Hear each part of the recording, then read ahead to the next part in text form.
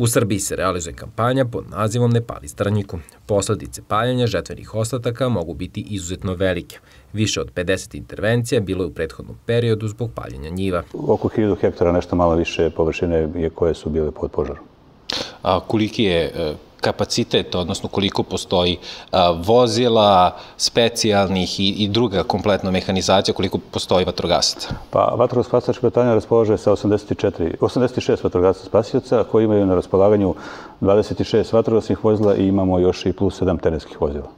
Sada reći ćete nam kakva je situacija na terenu kada se prijevi vatrogasci izlaze jeli, na, na samu lokaciju. Da li imate a, pomoć od, od a, drugih a, dobrovoljaca, odnosno dobrovoljnih vatrogasnih društava ili oceka za varne situacije grada Zrenjanina? E, što se tiče oceka za varne situacije grada Zrenjanina, oni nemaju tehničke mogućnosti za gašenje požara na otvornom prostoru, ali sa njima imamo jako dobru saradnju kada su u pitanju poplave i druge elementarne nepogode a dobra vatrogasna društva su jako aktivna, možda čak i najaktivnija na teritoriji Republike Srbije.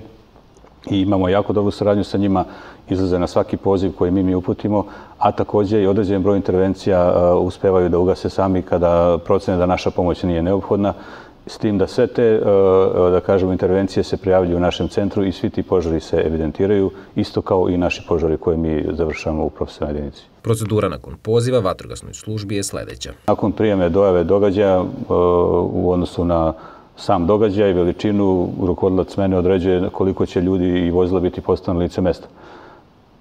Požari na su specifični, atari su u pitanju, loši su atarski putevi uglavnom i naravno dolazi do habanja vozila i opreme što nije dobro, ali u svakom slučaju mi izlazimo na svaki požar.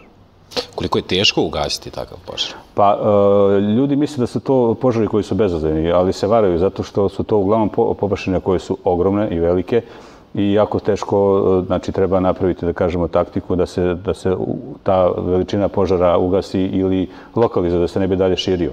Tako da to su požari u kojima, nažalost, je bilo i povređenih osoba i stradalih i opet ovom prilikom apelujemo naše građane da se ne bave tim stvarima. Nadležne službe revnosno obavljaju svoj posao. Naša inspekcijska služba, znači odsek za preventivnu zaštitu koja je pri našem odelenju zvane situacije, je napisao određen broj prijeva, znači određen broj ljudi je uhvaćen i protiv njih su napisane prekršene prijeve skodno zakonu koji reguliše tu tačku Koliko su, kolike su kazne? Kazne su za, za privatna lica od 10 do 50 hiljada, a za pravna lica kreću se od 300 hiljada pa i do milion dinara.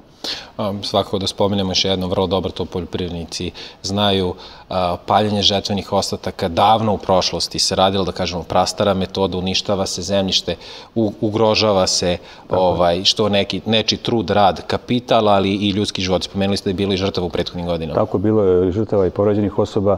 Sama paljevina, znači, na tom površinskom sloju zemljišta izaziva, da kažemo, neka oštećenja i samim tim je umanjuje i prinos ovaj, na zemljištu To je još jedan od razloga da se to ne radi. A šta je dobro u svojoj toj priči, imamo sve više ovih novih i savremenih mašina s kojima uspevaju da se, kažemo, te neke stvari koje nisu mogle da se rade pre nekoliko godina, vezano za obradu zemljišta i znači automatski manja mogućnost potrebe za paljenje. Međutim, još uvijek imamo neke određene ljude koji se bave tim stvarima, ali nadamo se da će toga biti sve manje. Apelujemo još jednom da se ne pale žetveni ostaci. Pored toga što je to delo kažnjivo zakonom, potencijalna šteta može biti nemerljiva, pogotovo ako se izgubi ljudski život.